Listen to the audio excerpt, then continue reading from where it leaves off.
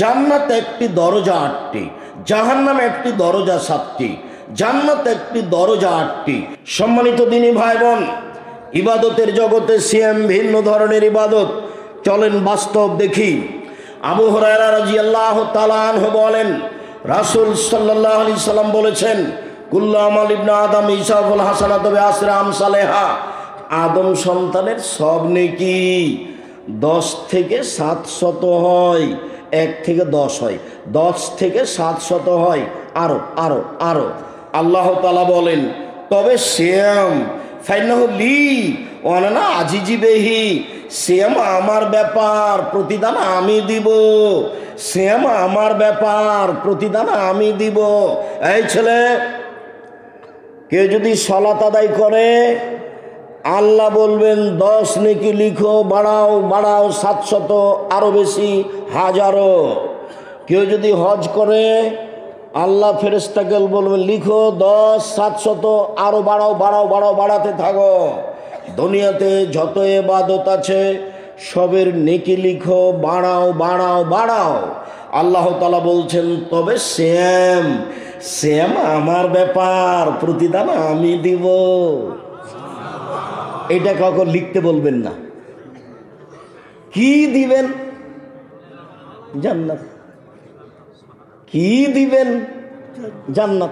শ্যাম আমার ব্যাপার, প্রতিদান আমি দিব।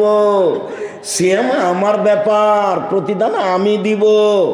ইবাদতের জগতে সেম ভিন্ন ধরনের এবাদত চলেন দেখি।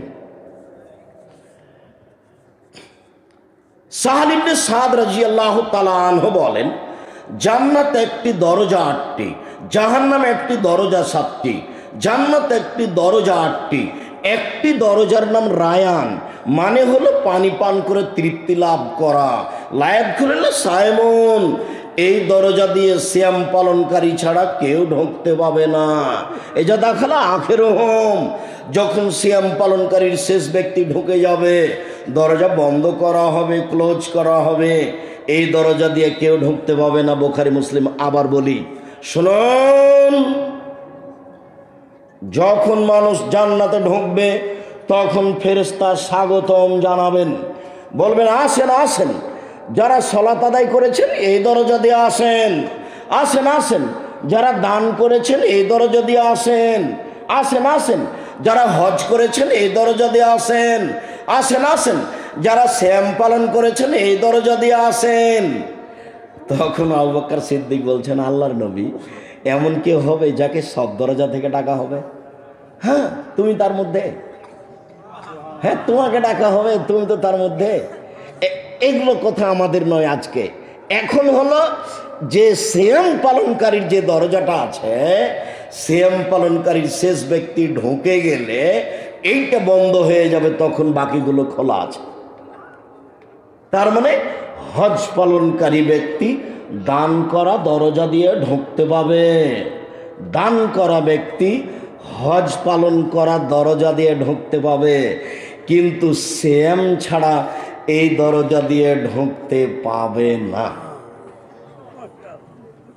ইবাদতের জগতে ভিন্ন ধরনের ইবাদত হলো সেম জানি না আপনি কেন পিছে। আপনি কেন বৃহস্পতিবার সোমবার শ্যাম থাকেন না? আপনার সাথে আমার জরুরি কয়েকটা কথা আছে। আগে এ অংশ শেষ করে নিই ইবাদতের জগতে শ্যাম ভিন্ন ধরনের ইবাদত। আব্দুল ইবনে আমর রাজিয়াল্লাহ বলেন, আল্লাহ নবী বলেছেন শ্যাম বিচারের মাঠে বলবে শ্যাম মানে? রোজা। আবার ফের ভুল বুঝিয়েন না শ্যাম মানে ব্যক্তি শ্যাম নয়। শ্যাম মানে রোজা। তো রোজা মানে উপবাস থাকা। তো উপবাস তো আমরা বলি না, আমরা শ্যাম বলব। আমি কোনোদিন রোজা বলি না, আমি সব সময় শ্যাম বলি। যদিও এক শ্রেণির হুজুর বলছে হ্যাঁ কে বলছে নামাজ বলা যাবে না? তখন দুনিয়া লোক তো নামাজ বলছে, কে তাকে ঠেকাবে বলেন? অথচ নামাজ কোরআনেও নেই, হাদিসেও নেই। সলাৎ কোরআনেও আছে, হাদিসেও আছে। রোজা কোরআনেও নেই, হাদিসেও নেই। শ্যাম কোরআনেও আছে, হাদিসেও আছে। দোজক কোরআনেও নেই, হাদিসেও নেই। জাহান্নাম কোরআনেও আছে, হাদিসেও আছে। বেহেস্ত কোরআনেও নেই, হাদিসেও নেই। জান্নাত কোরআনেও আছে, হাদিসও আছে। খোদা কোরআনে নেই, হাদিসও নেই। আল্লাহ কোরআনে আছে, হাদিসও আছে। তো কীভাবে চলছে? জোর করে চালাচ্ছে। ঠেলে চালিয়ে দিচ্ছে। হুজুর মানুষ। ক্ষমতা আছে সেই জন্য চালাচ্ছে।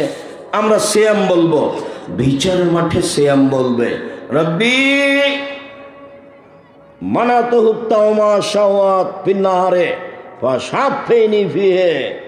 লোকটাকে আমি দিনে দুইটা কাজ করতে দিনি এক, খেতে দিনি দুই, মন মতো চলতে দিনি তোমার একটা কথা শোনো তুমি আমার একটা কথা শোনো, লোকটাকে জান্নাতে দাও। প্রতিপালক, লোকটাকে আমি দুনিয়াতে দুইটা কাজ করতে দিনি এক, খেতে দিনি দুই, মন মতো চলতে দিনি তুমি আমার একটা কথা শোনো, লোকটাকে জান্নাতে দাও। ফাইসব ফানে তখন আল্লাহ বলবেন, ঠিক আছে, দিলাম। এর নাম সিয়াম উল্লেখ্য যে বিচারের মাঝে আপনার পক্ষে কথা বলবে পাঁচ ধরনের ইবাদত বা পাঁচ শ্রেণির কিছু। এক, সিয়াম। এই যে দুই, কোরআন আপনার পক্ষে কথা বলবে। তিন, আঙ্গুল। যদি আঙ্গুলে তাসবি গণনা করেন তাহলে তাসবি দানায় নয়। চার, কালো পাথর যদি হাজার টাকা ঠিক থাকে। পাঁচ বাল্য অবস্থায় যদি ছেলে মেয়ে মারা যায়, বাল্য অবস্থায় ছেলে মেয়ে মারা গেলে আগে আপনার জান্নাত, তারপরে কোনো কথা। ছয় মেয়ে যদি লালন পালন করেন দুইটা। দেখে শুনে বিবাহ দিয়ে দিয়েছেন, খাওয়ার ব্যবস্থা করেছেন, পড়ার ব্যবস্থা করেছেন। দেখে শুনে বিবাহ দিয়ে দিয়েছেন, বিচারের মাঠে মেয়ে দুটি, মেয়ে তিনটি এভাবে আসবে। মধ্যে থাকবে মেয়েরা। ওইদিকে থাকবে জাহান্নাম, আর এদিকে ওর বাপ। মেয়েরা বলবে, আমার বাপকে আগে জান্নাতে দেন, তারপরে কোনো কথা। ওরা মধ্যে আছে। কারা? মেয়েরা। ওইদিকে আছে জাহান্নাম, আর এদিকে আছে মেয়েদের বাপ। আর মধ্যে কারা আছে? মেয়েরা বলছে, আমার বাপকে আগে জান্নাতে দেন, তারপরে কোনো কথা। কোনো কথাই গ্রহণ হবে না, আগে জান্নাত, তারপরে কোনো কথা। তুমু তর্ক লাগিয়ে দিবে। তো তিনটা মেয়ে যদি পরস্পর জন্ম নেই তো ওই বোকা বলছে, তোকে তালাক দিয়ে দিব। ওর খালা আর ফুফু আর দাদিরা বলছে বো চলবে না রে, তুই বউকে তালাক দিয়ে দে, তোর সবই বেটি হবে। কি করবি তুই, বেটির বিবাহ দিবি কেমন করে? সবাই যে বোকা, বিদ্যা উঠে যাবে, মূর্খতা বেড়ে যাবে। বিদ্যা উঠে যাবে মূর্খ